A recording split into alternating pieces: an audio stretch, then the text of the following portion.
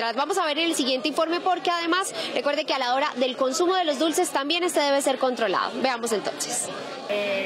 Durante este mes, la Secretaría Distrital de Salud ha inspeccionado 368 establecimientos y ha incautado 104 kilos de dulces, galletas y chocolatinas, entre otros productos. Estas son las principales recomendaciones a tener en cuenta. Lo más importante cuando nosotros conseguimos dulces para darle a los niños para esta época es verificar muy bien la fecha de vencimiento, que está la fecha de fabricación, fecha de vencimiento, el lote del producto, tenemos el registro sanitario del INVIVA y obviamente hay algunas recomendaciones que traen los dulces. Por ejemplo, este dulce es un dulce duro que dice que no se debe dar para niños menores. ¿Por qué? Porque el niño se puede asfixiar.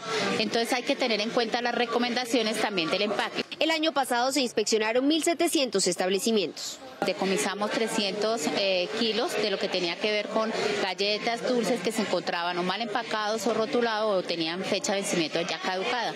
De igualmente se decomisaron 69 litros de bebidas azucaradas que no cumplían con los requisitos sanitarios. Recuerde que al momento del consumo también es importante seguir algunas recomendaciones para evitar indigestión e intoxicación. El consumo tiene que ser mesurado. Nosotros no podríamos dejar que el niño consuma los 200 dulces de una vez, ni siquiera 5 ni 10. Consuma uno o dos dulces en ese momento y hacia adelante mantener mesuradamente el consumo hasta que los acabe.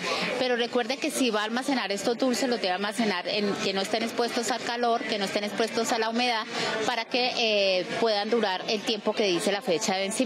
La recomendación es recibir y consumir únicamente los dulces que vienen empacados, que no estén húmedos y que no contengan materiales extraños ni estén decolorados.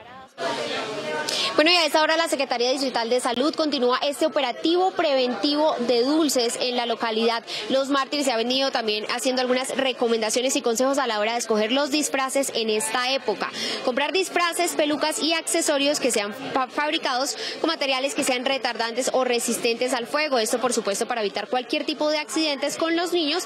También los accesorios como espadas o bastones, pues deben ser de materiales flexibles y blandos para evitar accidentes en ellos. Recuerde que ante cualquier denuncia con las golosinas o bebidas que usualmente consumen los niños durante esta época, debe hacer la denuncia ante el número 123. Con esa información nos despedimos desde la localidad Los Mártires.